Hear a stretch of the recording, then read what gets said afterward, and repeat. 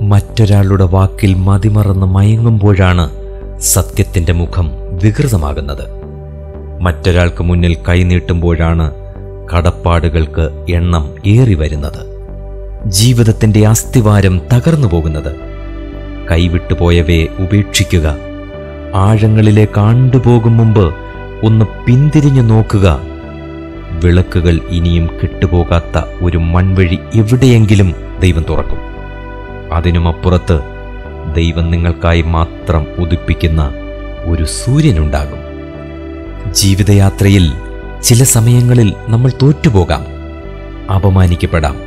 രോഗിയാവാം. കടക്കാരനാകാം. ഒറ്റപ്പെടാം.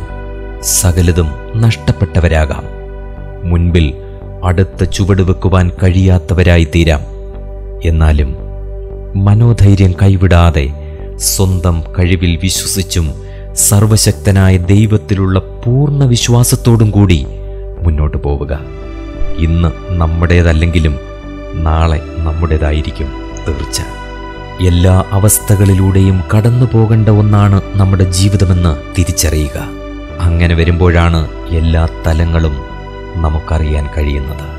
പുതിയ അറിവുകളും രീതികളും വേണ്ട രീതിയിൽ ഉൾക്കൊള്ളാൻ ശ്രമിക്കുന്നത് നമ്മുടെ നല്ല വളർച്ചയ്ക്ക് മുതൽക്കൂട്ടാവും. ലക്ഷ്യവും പരിധിയും നിശ്ചയിച്ച് സ്വയം അറിഞ്ഞ് ആത്മാർത്ഥമായി തന്നെ പരിശ്രമിക്കാൻ തയ്യാറാവുക. വിജയം നമ്മുടേതായിരിക്കും.